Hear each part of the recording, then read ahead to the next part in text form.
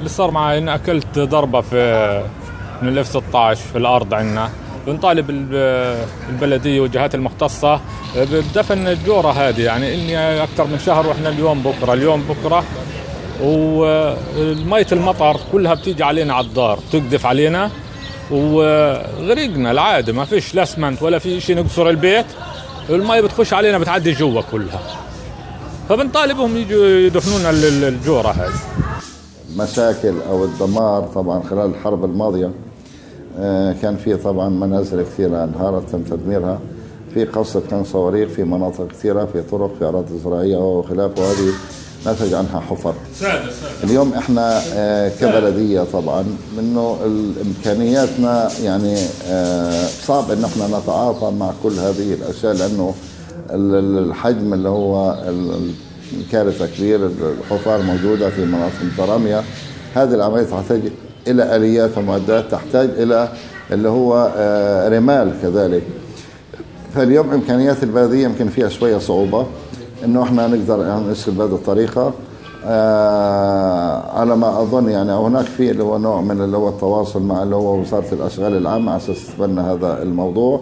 من خلال المؤسسة المانحه انه زي ما حدث بالنسبة لقضية اللي هو إزالة مخلفات والركام اللي ناتج عن الحرب من خلال المؤسسة الأجنبية ال UNDP أو الأونروا أو اي وزارة الأشغال العامة أنه يكون هناك في توجه كذلك للتعامل مع هذه الحفر في آه، المناطق المختلفة اليوم إحنا القضية لو كانت تتعلق بمواطن أو اثنين أو ثلاثة أو عشرة إحنا جاهزين إنه إحنا نعمل كل شيء مطلوب يعني. آه، لكن قضية آه، اليوم أنا إحنا بنحكي على كم كبير من الحفر. وبالتالي فوق إمكانياتنا مياه مي- الرمال اللي ممكن إحنا آه، يعني نحاول إنه إحنا نجيبها عشان نقدر ندفن فيها اللي هو ال- الحفر أو نغلق الحفر. هذا كله عن طريق وزارة الاقتصاد وبالتالي بيتم بيعه. أو إحنا يعني بيعه من وزارة الاقتصاد وإحنا نقوم بعملية الشراء. وإمكانياتنا طبعا اليوم اللي هي امكانيات الماديه لا تسمح. الآليات المعدات الوقود والقضايا هذه كلها. كمان برضو عندنا إمكانياتنا لا تسمح. اليوم لما بحكي لك على كباش أو اثنين موجود عندنا في البادية والكباش هذا يعني بيشتغل على على النظافة أو قضية إزالة أو تنظيف اللي هو بعض اللي هو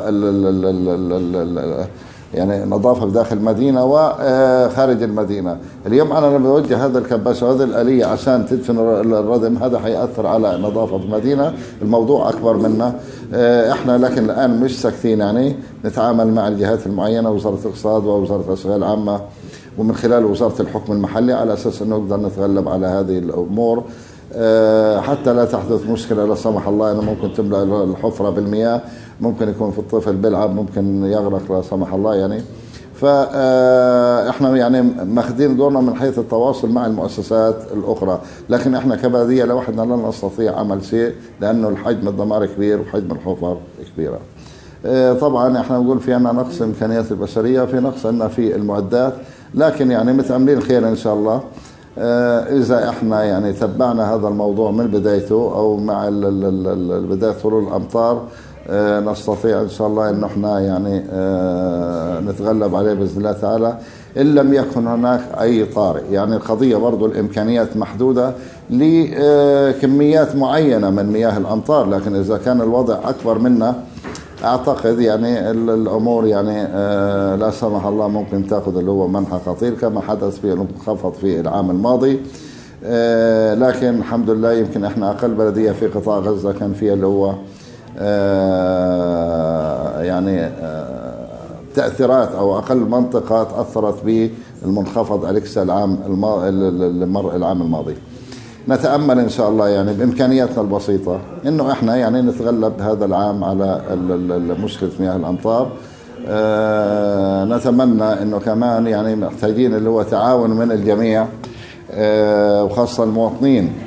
كذلك يعني بقضية اللي هو إمكانية اللي هو مساعدة البلدية في آه، ابقاء الشوارع نظيفة يعني.